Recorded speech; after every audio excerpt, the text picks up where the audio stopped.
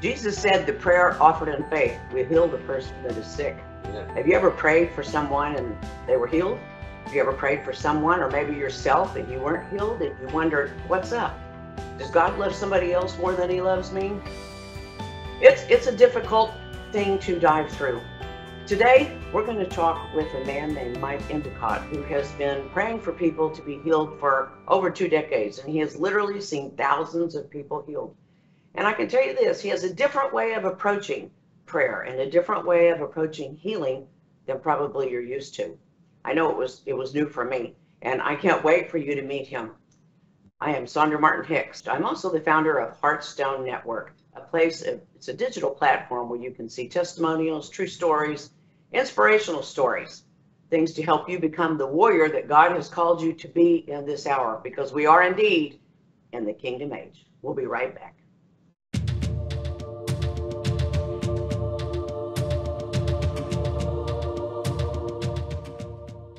A number of years ago, I was walking along Lake Michigan, and without warning, I felt the Spirit of God drop in my spirit. Remember the story of King David facing Goliath? I then sensed he was telling me to pick up five smooth stones from the sand. Why the stones? Well, they represent the colors of people on the earth. Also, during the many years I've been a filmmaker, God has often made it clear to me that my job is to reveal His heart in the stories we tell. That's what Heartstone Network is about revealing the heart of God to the peoples of the earth through stories. We had to have a government official give us permission to leave with the kids so we wouldn't be accused of child trafficking. In the meantime, our houses were being looted. Everything was being looted. It was the hotspot of rioting and destruction in America, was two blocks away. When the world saw 5,000 people show up in the heart of Portland, something happened in the soul of the nation. God's flipping the script. Hey, I'm Lance Wallnau, and I'm so glad you joined me today for the world's maybe wildest Bible study because what we're going to be doing right now is going into the word of the Lord for the chaos of this moment. I want to introduce you to somebody that I think can make a big difference in your life. I want to say that to you because he made a big difference in my life. No, I didn't bring food for all these kids. I brought food for your family. I said, they are our family. I just remember John 6 and how Jesus took that little boy's lunch and just gave thanks to the Father. And I said to the kids, let's all sit down. We just started serving up these big plates and we didn't look in the pot. We just started serving the kids. The power of the Lord will become more real and tangible to you in this class in a way that really nothing else I've experienced can make happen. In this inspired media channel, you will find true stories of ordinary people living extraordinary lives because they're partnered with an incredible God. Our heart's desire is to encourage, prepare, and teach you to be a sphere of influence in the area God has called you to for such a time as this. Our content is free and supported by viewer donation. We're glad you're here. Come on in. I hope you will consider sharing your story with the world.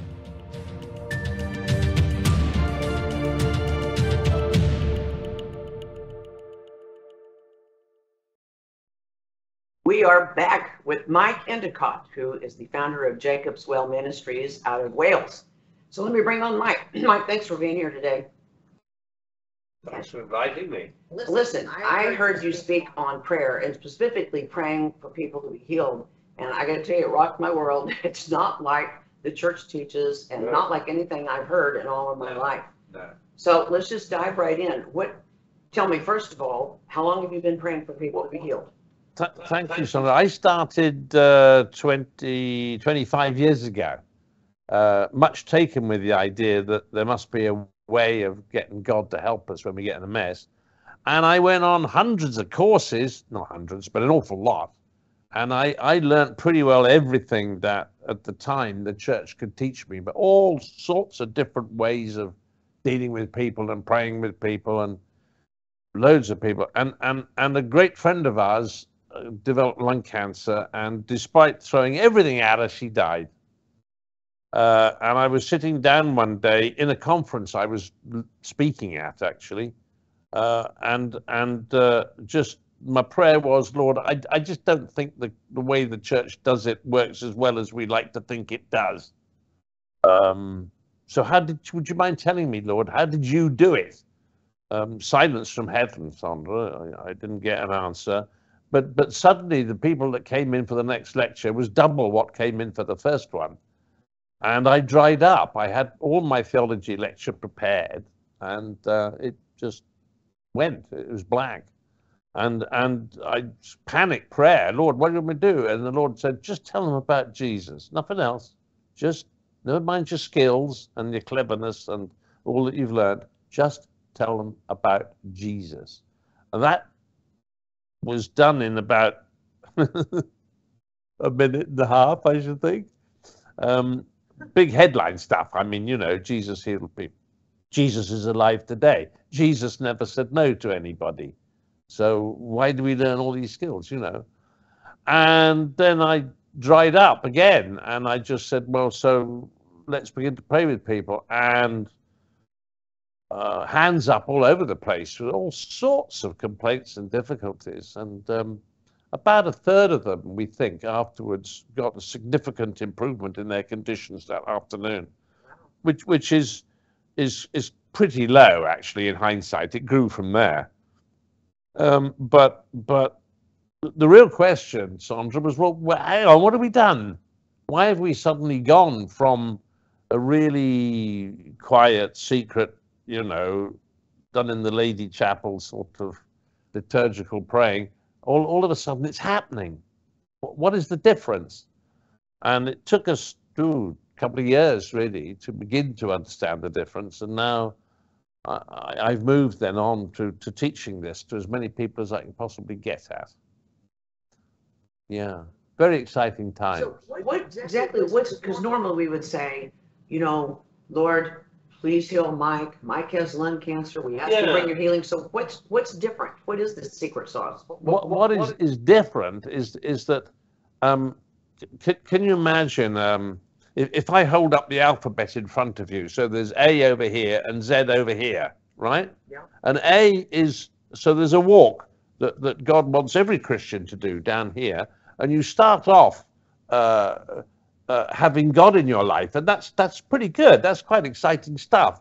Uh, you can have God in your life, and or you could have church in your life, and then you get God in your life, or the other way around. But but God becomes part of your life, and that's really good. But as you develop your knowledge of the kingdom and your understanding of the kingdom, your understanding of the motives behind the kingdom, you come on down here. Once you get to about I, J, K, L is the middle, isn't it, of that? Uh, something changes. Because Z actually, there's only one person there, and that's Jesus. That's pure, unadulterated Jesus.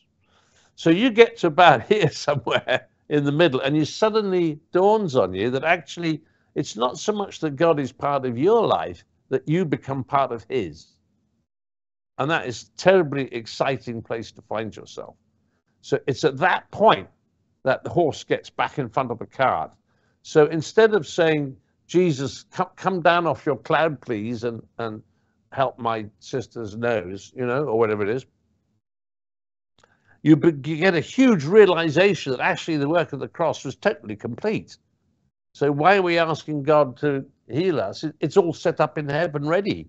Uh, and the realization, Sandra, dawned on us that, that actually it, it's, it's not a question of trying to get God to do stuff for us. He, he's not, you know, a, a medical servant, if you see what I mean. The, the, the real question is how do we open up people to receive what's already actually coming at us, which largely the church hasn't realized yet. That the, the cross is complete, the river of God's grace is flowing all the time at us. The real problem is we've lost how to catch, we've forgotten how to catch the stuff. Um, well, have we forgotten or never known? I suspect you're right. I suspect you're right. I think maybe we've never been taught it. Because you say the grace, grace is always coming down. Yes. Grace is right. always coming down, which means healing is always flowing, and our trust has to rise to intersect the grace. That's absolutely right. Well, that's great, but what does that mean, and how do I do that? Because you know, oh, it's, it's, it's, it's, it's, it isn't a trick. With a particular. It's a lifestyle. It's a life of worship and thanksgiving. Yeah, um, it's it's in the Psalms as well. Actually, is that thanksgiving honors God and prepares the way for God to show us His salvation. That's in the Psalms. I mean, that's Bronze Age stuff. It's it's been in the Bible for for many many years.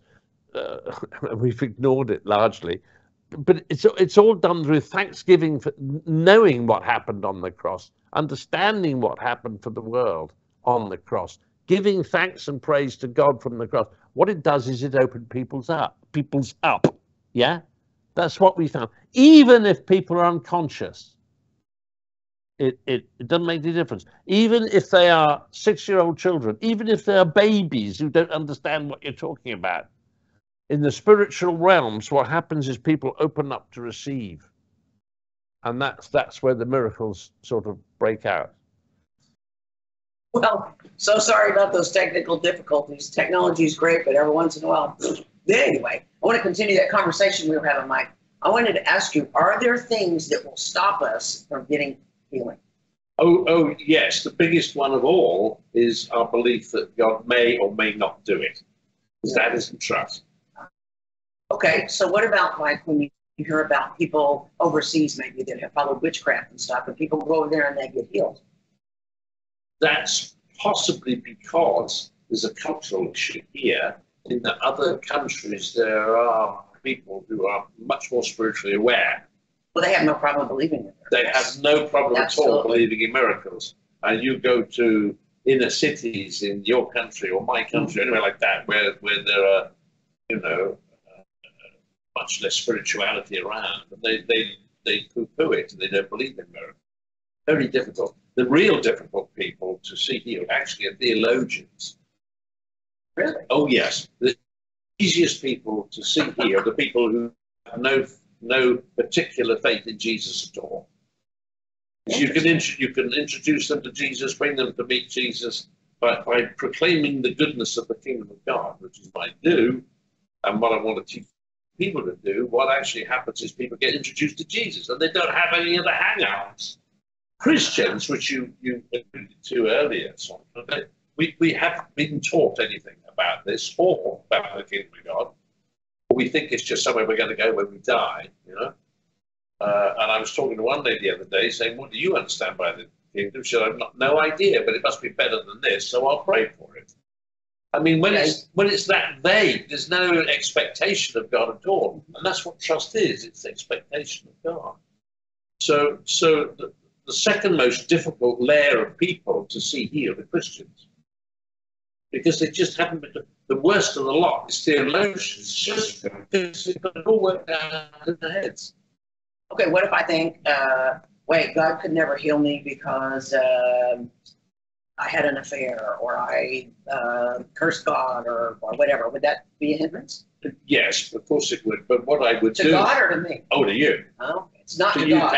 no, it's not to him. It's to God, it's to you. So what I would do is actually take you through the scriptures and say, Will you please tell me where Jesus refused to heal somebody because they were naughty. That doesn't happen. That's not Jesus. So, Mike, if I'm praying for myself or if I'm praying for somebody else, how do I help create this atmosphere so that the one I'm praying for will actually receive healing? You worship God. You say thank you. Uh, every time you feel like saying, please God, come and do this, don't. Instead of that, we, we just teach people it's, it's all done for you, it's all waiting blessings have been thrown permanently out of heaven. Our problem is we've forgotten to catch. How do you catch? You hold your hands up. Thank you, Father. You know, the, the, the, the scriptures. So you never asked God for anything? No. It's all done. Because uh, what, what, what I know is that the, the, cross is actually a completed work. It's a finished job. It, it covers everything. Um, having identified through hard work actually looking through the, the, the, scriptures to find out what actually happens on the cross. What I've found is that, that what Jesus achieved there has covered completely every single circumstance that I've been involved in and prayed with over the last 23 years. Wow. Without exception, every single one. So even if you were going to like, uh, let's say you were preparing a sermon, people will always say, you know, Lord, help me, help me write this sermon, help me do it. How would you pray that? I, I, I don't, it, it's not a specific prayer. You see what I'm saying? If, if you, once you begin to walk in the kingdom of God, so you get to your you know, uh, IJK sort of in, in the alphabet, uh, once you get past there, you are just in communication. Because prayer is not a question of me talking to God. Prayer is really a question of allowing God to talk to me. Okay. So if I sit down trying to prepare a sermon, I say, can you let me know, Lord, what, what you want me to say? And I switch off then and go about whatever I'm going about. And suddenly these ideas will pop in my head, and that's what I go for. Sometimes I disagree with God, but he smiles at me and says, "No, Bible, come on." Okay, so so I have friends that I'm praying for now that have cancer, and I have been praying for several years, Lord, tell me how to pray for that person. But that's not the right prayer. Is that right? I, I, I- think that's right because, you know, if, if Jesus on the cross has taken all our pain and all our sufferings and by his wounds we're healed, Mhm. Then why are we asking Jesus to get on the cross again and do it again for us? It's all done. The, the, what have I got for you? Psalm 46, verse 4 says, There is a river whose streams make glad the city of God, where the Most High dwells. The river of grace flowing down the middle of the street in heaven. Uh, you, you, in the Revelation book, you know, underneath the tree with the leaves for the healing of the nations. And, and it's because of the cross that flows into the world now. It's our job to swim in it, not to try and get the river to flow.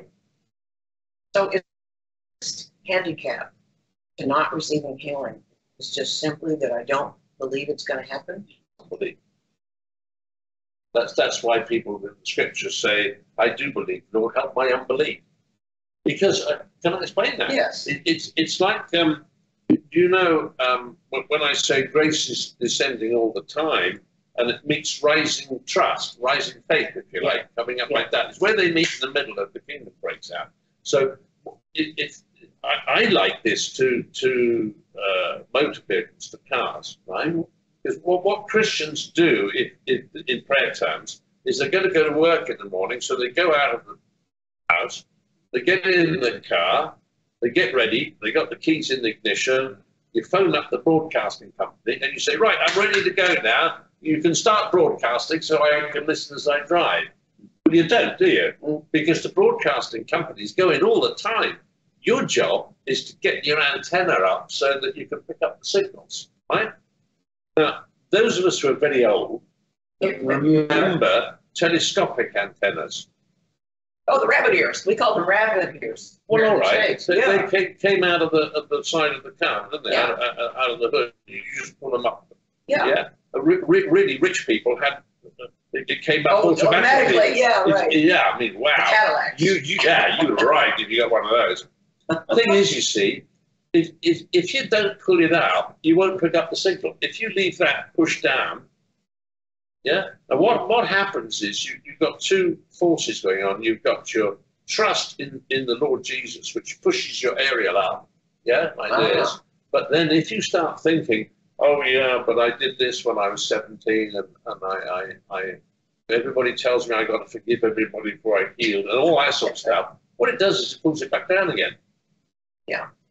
And that's the, but the end result is it's got to stick up out of the metalwork of your car the size of a mustard seed. That's all it's got to do. So that's I, the, when, whenever I work with people, my entire life is spent telling people the good news of the kingdom of God, which is how Jesus taught his disciples to pray. Mm-hmm. He said, just go and proclaim the kingdom. He'll say, so what I do is, never mind your own skill, never mind how you pray, just just tell them about the good news of the kingdom of God and back off. Take your own skills out of You know, way. in scripture, people would say, "What did this? What did this person do, Jesus, if they became sick who sinned?" You know, rebuff that. But does. people are still doing it today. Well, Yes, yes. you're not going to get healed unless you get delivered. You pray Yeah, for forgiveness, yeah, or you yeah, let go of sin. It's all over the place. It's- There's such condemnation. Absolutely. But if that's the case, I- if I you get healed, if you get sick from illness, I mean from from sin, we should all be sick. And if you get healed, if you've forgiven everybody that ever upset you, none of us would get healed. Because I promise you, we all have unforgiveness. We may not be aware of it, but there's somebody I haven't forgiven. That's right. And a lot's gone in in your life, Yeah. which you've probably forgotten anyway. You know, I was I was on a trip working on a film in Uganda in 2017, and I was hitting the, and there was lots of people praying for me. But when I finally came conscious, I knew I had internal bleeding, and I said, Lord, I don't know if I'm going to make it home or not. Totally up to you. And then I just believed. I mean, there was nothing in me that said I wasn't supposed to live. I felt like I had not finished the work He had called me to do. I just felt I was supposed to live, and He was going to heal me. I mean, I was rock solid. So what would happen is that my leg was all swollen up, and they said, "Oh, her leg's broken. We're taking an X-ray." By the time I'd come back, it'd be normal. And this happened one thing after another. Yeah, yeah. So I've been thinking a lot about what you said and wondering if that particular time in my life I was rock solid, hundred percent. There you I was going to be healed, but not like I've lived with a bad back all my life. I don't. I think I have this doubt that I'm never going to be healed, Yeah. and I haven't been. But you know, this idea, the Bible says that God is love. He died his by his stripes we are healed. Ask anything in my name. You go through all these scriptures, and when you pray and you don't get healed, or somebody doesn't get healed, we start thinking, well, the Bible's not really true, or you know, or whatever. And I'm well, what you said so resonates with me because I believe God is true. And in the background somewhere, you see, of all apparent failure, there's doubt. And Yes. that's putting of some kind. Maybe taught that, as you say. I, I, I'm amazed by, frankly, the, the number of, of deep spiritual people who write books on this subject that you must forgive before God can heal you. Yeah. I cannot find Jesus ever saying that No. to anybody, so I don't. Yeah. But you know what this does? Mike, what you're saying, your way of, because you've seen thousands of healed, people Yes. healed, right? Yes, Thousands. yes, Well, it puts the responsibility on, on me, on us. See, instead of just sitting here, just Yes. waiting for God to do, we've got to work. We've got to get in there. And it's not Yes. just about believing Jesus is the Savior, right? that's it's right. about having a very close friendship. Absolutely right. See, that's that's the ticket. you got it. That's what I think people are not understanding. It's not just You- I do got it. believe Jesus. I am a Christian. It's more than that. Yeah, you, you, It's put it's staking right. your life on it. You, because you don't get healed because you believe Jesus was a healer. Jesus is alive still, so why can't he come here and do it? Yeah. You get healed because you love the Lord your God with all your heart and all your mind. It's a relationship Yeah. issue, and, and you can work that into people with with uh, proclamation. Awesome. But but the spiritual power of this is extraordinary. Okay, we're going to pick that up. We've got to go to a break, and we're going to be right back and hear more about how to pray effectively for people. We are back with Mike Endicott talking about prayer for healing and a way to pray to see results. Mike, give us some stories. Oh, well, yeah, I've been thinking about that. Um, uh, there's so many, it's, it's difficult to pick ones out that mean anything, but except the ones that I think are terrific fun. And and the, the, the one that strikes me was uh, um, uh, a while ago now, where where um, a guy called in the office, um, and he was in deep trouble with uh, re- ready for amputation of a, in a couple of days' time from you know with gangrene set in uh, for as a diabetes thing, you know. So he, the man could hardly stand. I mean, he, he was limping very badly. It was too painful to put his foot on the ground. He was really, and he came in. He sat down. Uh, I wasn't there he at the time in the office, but this was uh, a member of staff was sitting down with him, uh, and and and he, he said, "Look, and I'm not a Christian or anything like that, but but I'm uh, last shot. Can you stop this pain? Do you people know how to do this?" So what she did was she didn't she didn't promise him anything, tell him anything, diagnose anything like that at all, or or you know try and work out what might be behind it and all this. She just told him about Jesus and the kingdom of God because that's what Jesus is really the king. So so and and as they talked to him, he he he was huffing and puffing a bit. Wow, and and he'd taken the strapping off his leg, the bandages, and she told me afterwards it smelt was horrid. But as she talked to him about Jesus, you could actually see the the pink bit of the leg going down and down and down as the as the blackness retreated. Yeah, And the smell died down and died down, and in the space of about three or four minutes, the whole thing had cleared, and and and he, he, he, I think they sprayed around the, the office, but he, he, he got to walk around quite happily without anything wrong with his leg at all. Uh, yeah, wow. I mean, that's fantastic. So I then thought at the end of that, not the end really, I, I was happened to be on the phone to uh, a pastor friend of mine uh, in in the United States and and talk and told what had happened, and she said, "Oh, that's interesting," because she had a parishioner who was in hospital waiting to have a foot amputated for exactly the same reason. I'm going now, she said, and jumped in the car and shot, shot to the hospital sat with this lady and did exactly the same thing. Never asked God to do anything because it's all done. What she did was she proclaimed to this lady the good news of the nearness of the kingdom of God, which is exactly what Jesus trained his disciples to do. And that afternoon, along came the surgeon to pre pre check just before operation. Took one look at her foot and said, "I'm not going to cut that off. That's perfect. That's in tremendous condition." Wow. Wow. So that's not the end of it, because in fact, last week, um, one of our colleagues who who works in a runs um, a community center, you know, had had had somebody came in who had um, had some toes amputated already for the exactly the same reason, you know, the diabetes gangrene thing.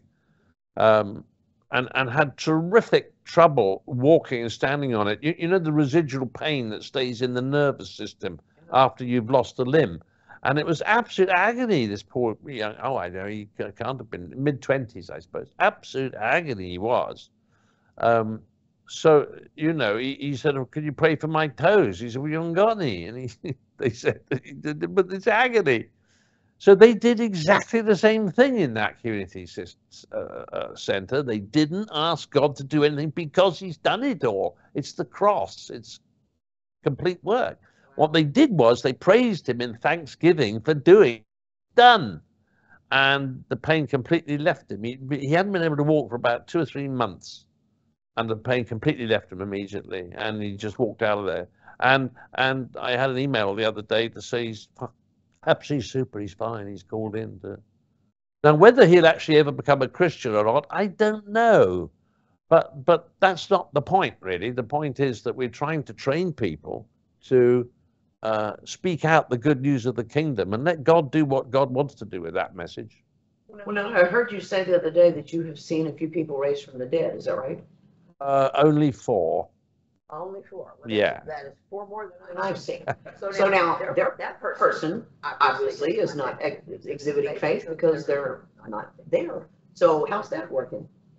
Oh, it it does. Um, I I don't, do you know something? I don't know, um, but I can give you um, one. Ex- well, well, I can give you a near-death experience, which might explain my my worry better and that is um, uh, we, we have one of my elders is a is a hospital chaplain, uh, and and she was called into a children's hospital where there was a a, a, a, a five year old boy who's for some reasons I don't know medically uh, the the internal organs were shutting down. You know what I mean? The livers and the kidneys all shutting down and and he wasn't going to last the night. So so they'd called mum. Mum was sitting there by the bedside. So the hospital chaplain went in, and you, you can think of all the things that a hospital chaplain might or might not say or do. The child's lying there uh, in coma, right? So you've got a five-year-old boy in a coma at this point, with the doctor saying, "Stick stick with it, mum, because you're saying goodbye." Okay, he's he's going. The hospital chaplain said, Would you excuse you a minute? Went round the other side of the bed and whispered in this young man's ear. And what she whispered was the good news of the nearness of the kingdom of God. That's all she did. And she left because it was the end of shift. You know what I mean? She didn't want to go in bed and sleep. So she, it was her first port of call. The next morning she came in, and that boy was sitting up in bed playing games with his mum.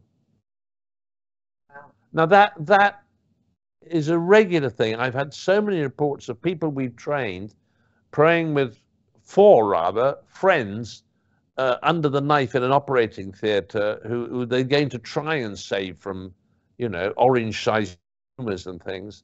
and they've dug in there and they can't find the tomb. Uh, um, so it, it, you know, I don't know what it is, Sandra. Is it, is it is the is is the word I have to tell you? But the fact that they are dead or dying makes, or, or whether they can understand you or not. I've prayed with people like this who who don't speak a word of English, and they still get healed.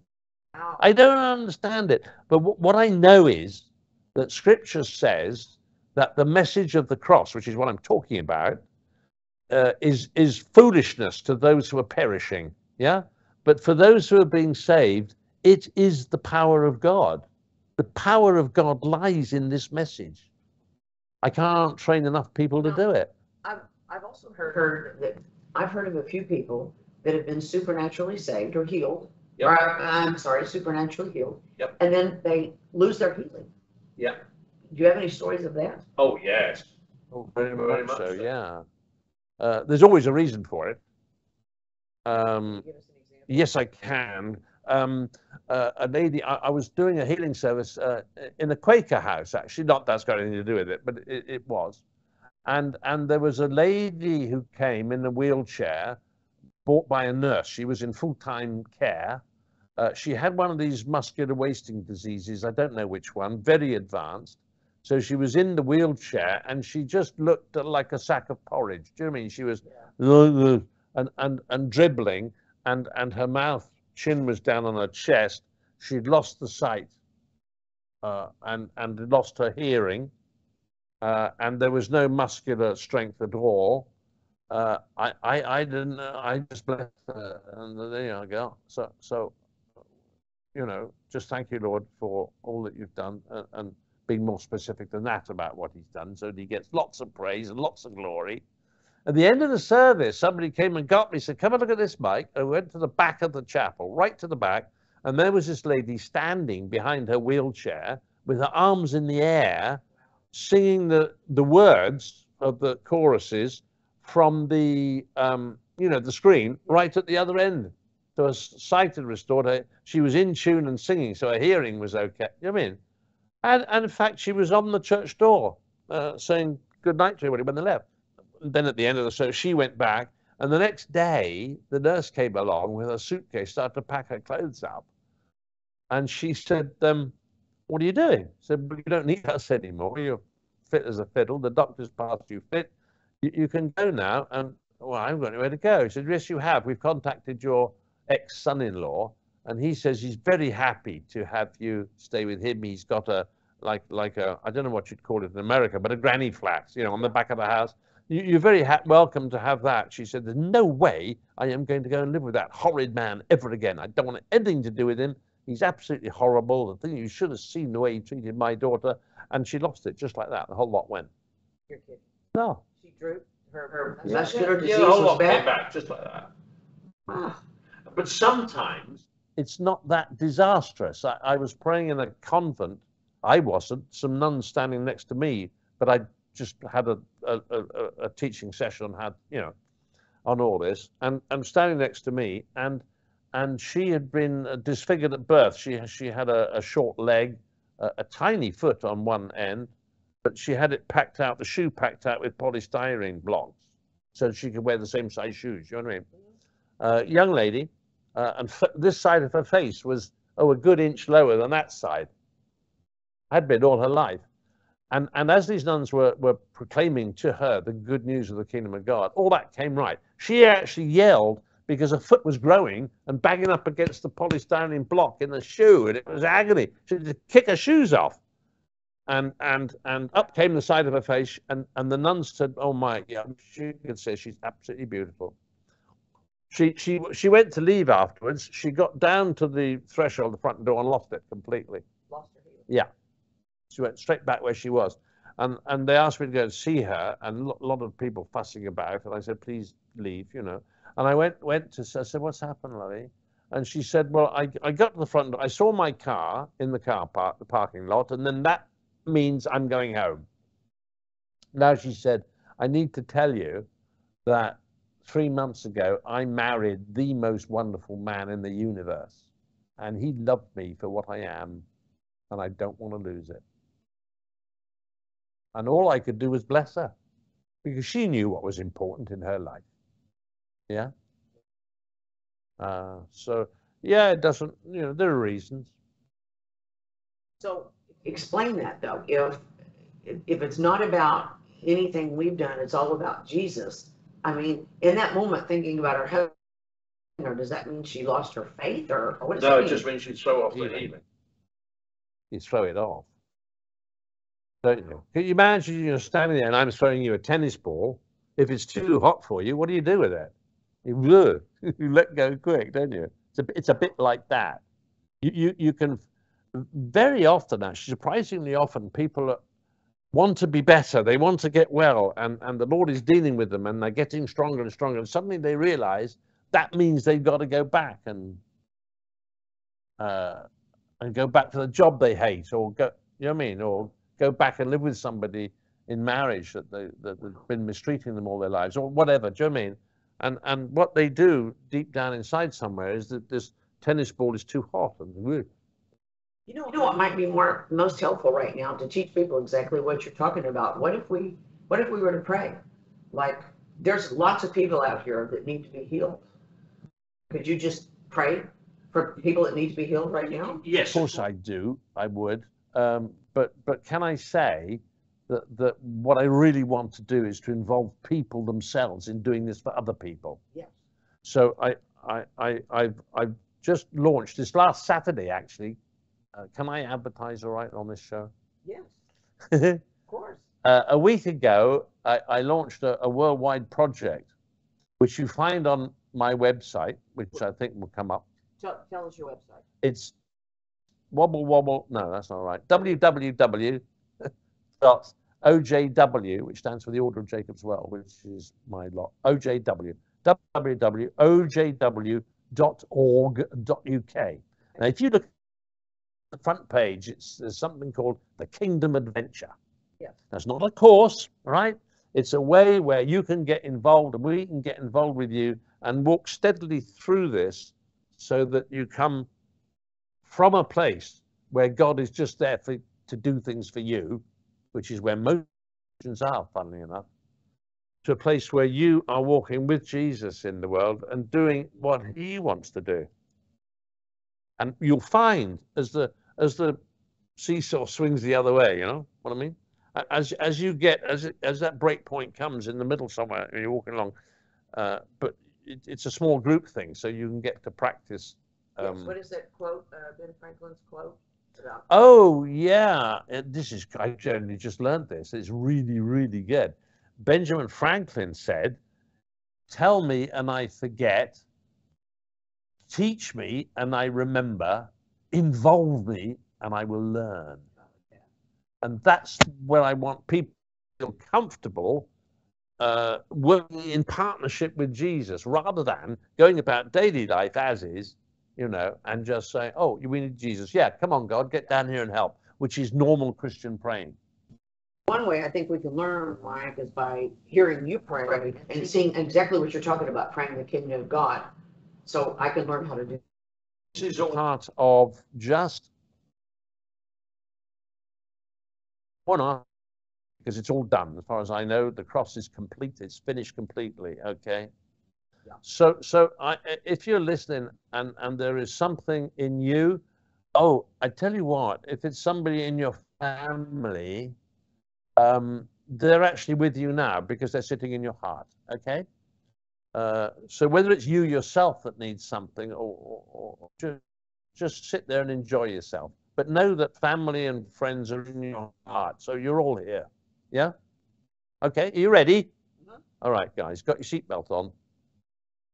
Here we go. Father, bless you and thank you for Jesus. I thank you, Lord, that when you painted the picture of creation in Garden of Eden, you you you drew a blueprint of how you wanted the world to be. And in there there is no sickness, there is no pain, there is no lousy relationships, there's no stress and strains, there's no upset, and there's a beautiful relationship with you, Father, as mankind walks with you in the cool of the day, just to talk things over, which is wonderful.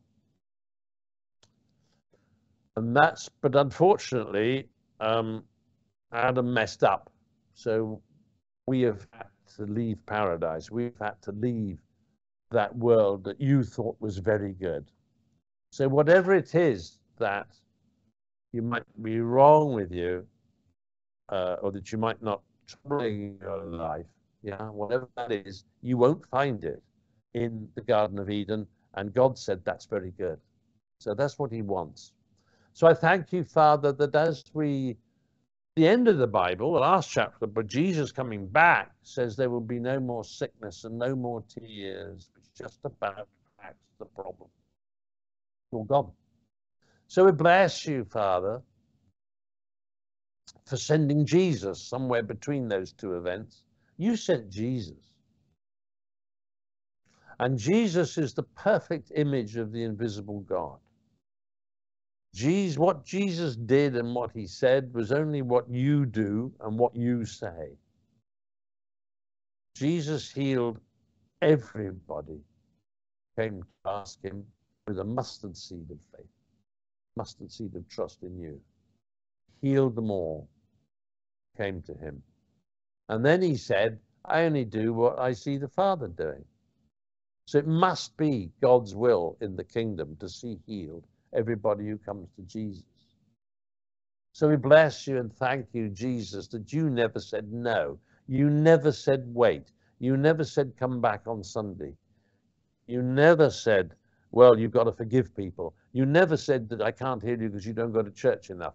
You never said, you never even said, are you a Christian? You never said anything like that, Lord. You just said yes, and you're the perfect image of the invisible God.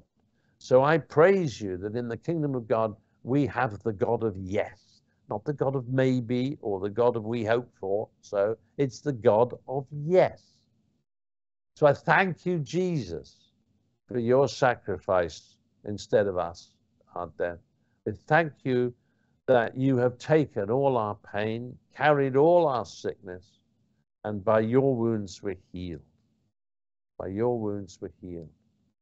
And because of what you did on the cross, you, you know, Father, bless your heart, there is in front of your throne in heaven uh, a sea, a glassy sea, uh, and it's full of grace. And at your son Jesus' death, the completion of his cure for the world, that, that lake broke its banks, and now it flows down the middle of the street in heaven, the river of life and it flows underneath the tree with the healing of the nations. There is a river whose streams make glad the city of God where the Most High dwells. Bless you and thank you for the river of life that flows into this world. The door's now open. There is an open heaven. The curtain was torn in two in the temple, so there's an open heaven over the whole world, including me and including anybody who's praying with me right now. Bless you, Jesus. You have taken all our pain. You have carried all our sickness. By your wounds we're healed. Praise you and thank you for the kingdom and for its nearness and the motivations to heal the world. Bless you, Lord. Amen. Yeah. Amen. And that's it. The words are not important. It's your relationship in thanksgiving with God, which is all important. Yes. Walk with me on my kingdom adventure, and you can discover all that for yourself. Well, I think what what we have to remember in this, uh, Mike, is that Jesus never said no. That's right. He never said no. No. He never said, "Now, when you go and and, and get your sins straightened up, I'll show right. you." That's right. He never said, "You know, get over being angry." That's he right. never said that. Nope. He always said yes. Even when the people came, when he said, "I'm not like the woman," said, "Will you heal my daughter?" And he says, "Well, but I'm not. It's not right. I'm supposed to come to you know the house of Israel first. Yes, yes. And he healed her too. Anytime Yes. somebody had faith, Yeah. it made him so happy. He said, Yeah. "You got what you asked for." Yeah. You know, that's the thing I keep Yeah. focusing on. Jesus Yeah. never said no. No. As I'm learning to pray this way, I say, Jesus said no. Jesus never said no. Jesus never said no. So That's right. Absolutely. And Jesus is alive, just in case you're worrying about that. thank you so He's much around. for everything you've taught us today. You can watch us on our website, So join us, heartstonenetwork.com, and you can get a replay of this show.